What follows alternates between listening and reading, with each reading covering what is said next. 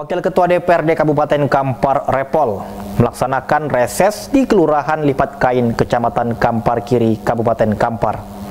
Repol mengaku siap menampung seluruh aspirasi masyarakat agar dapat ditindaklanjuti.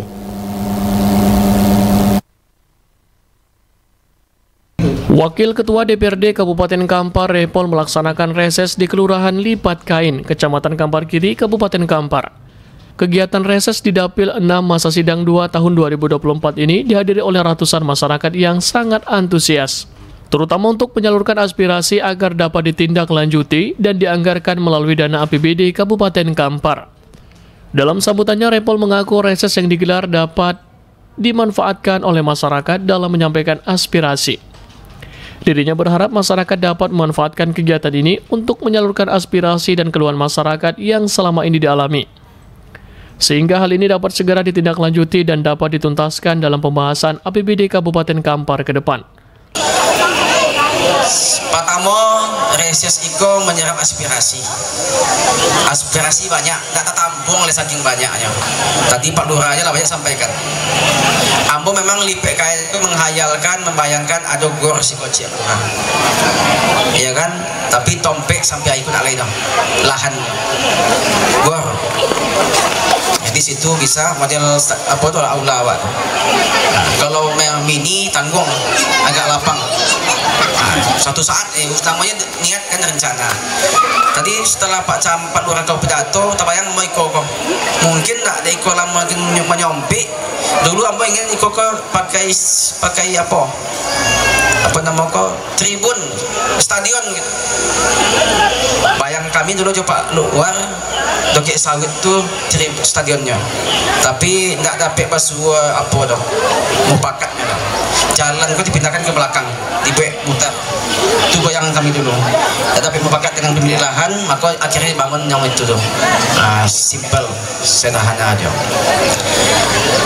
Itu aspirasi tentu ada aspirasi kami akan tampung gitu. Itu poin pertama poin kedua yang kami sampaikan. Kami terima kasih banyak. Kepada masyarakat Lipek Kain yang telah bagi kepercayaan Ambo. 20 tahun Ambo sebagai anggota DPRD Kampar. 20 tahun. Dari 2004 tamat Ambo 2001 kuliah masuk Golkar 2002 2004 mencalek terpilih sampai kini. Nah 20 tahun. Nggak terbayang dong bisa jadi anggota DPRD anak nakik kota gojo amak nak pejabat ayah nak pejabat. Dia dia kepercayaan di masyarakat jadi anggota DPRD 20 tahun. Lurah Lipat Kain, Andi Sukma mengaku masyarakat selama ini sangat mendambakan adanya pembenahan infrastruktur, penunjang aktivitas masyarakat. Pihaknya berharap seluruh keluar masyarakat yang berada di desa Lipat Kain dapat segera ditindaklanjuti. Salah satunya adalah pembangunan gor serbaguna yang sangat dibutuhkan masyarakat. Uh, yang pertama kami terima kasih kepada Bapak Wakil Ketua DPRD melakukan di sini uh, sehingga apa-apa yang aspirasi langsung tersampaikan kepada beliau.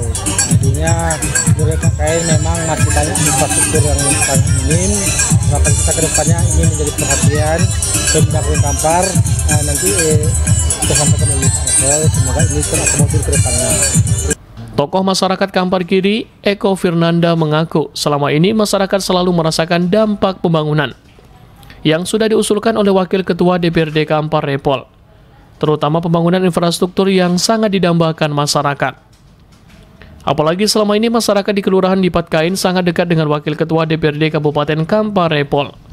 Selama ini kalau Bapak Repol, turun reses ini intinya kan menyerap aspirasi dari masyarakat yang mana segala sesuatu keluhan 80% itu terrealisasi lah dan memang banyaknya di bidang infrastruktur baik itu sifatnya di lingkungan kelurahan maupun yang ada di Kecamatan Kampar Kiri.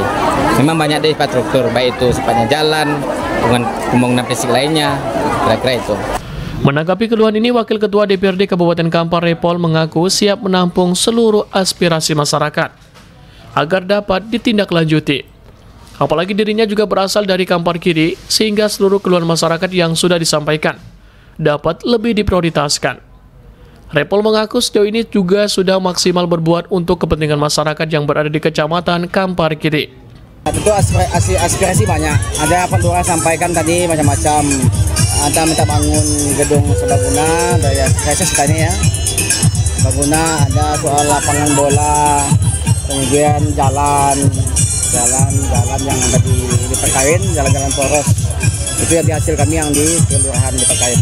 Gimana Pak sejauh ini Pak untuk aspirasi masyarakat apakah memang Ya, prioritas diusulkan di APBD ke depannya? Eh, banyak macam-macam. Ada sekolah, ya, ada sekolah yang mungkin ini saya kira kalau untuk tingkat kabupaten Kampar ini yang terakhir kami menjabat tahun terakhir ada sekolah dan ada mungkin nanti gor yang disampaikan oleh Pak Nurhan. Repol berjanji seluruh aspirasi yang sudah ditampung akan menjadi prioritas untuk ditindaklanjuti hingga akhir masa jabatan dirinya pada Agustus mendatang. Dari Kampar, Yogi Sasta dan Eka Putra melaporkan.